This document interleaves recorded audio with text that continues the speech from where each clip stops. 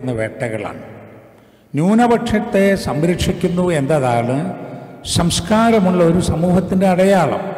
ഒരു civilised society എന്ന് പറയുന്നത് ആ പ്രദേശത്തുള്ള ഭാഷയോ മതമോ വംശമോ ഏതെങ്കിലും വിധത്തിൽപ്പെട്ട മൈനോറിറ്റിയെ സംരക്ഷിക്കുന്നു എന്നതാണ്.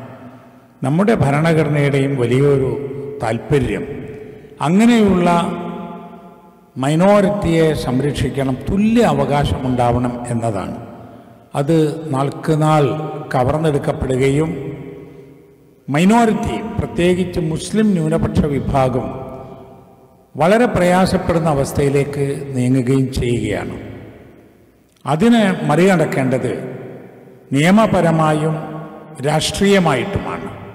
വൈകാരികമായിട്ടല്ല.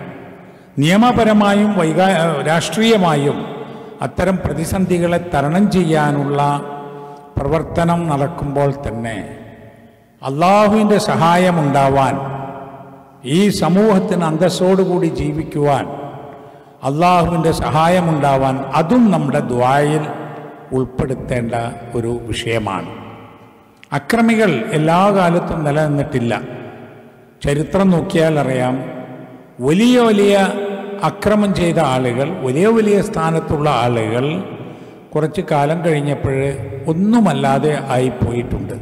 അതുകൊണ്ട് യാതൊരു നിരാശയുമില്ലാതെ യാതൊരു വികാരത്തിനും അടിമപ്പെടാതെ നമ്മുടെ രക്ഷയ്ക്ക് വേണ്ടി നാം ദുവാ ചെയ്യണം.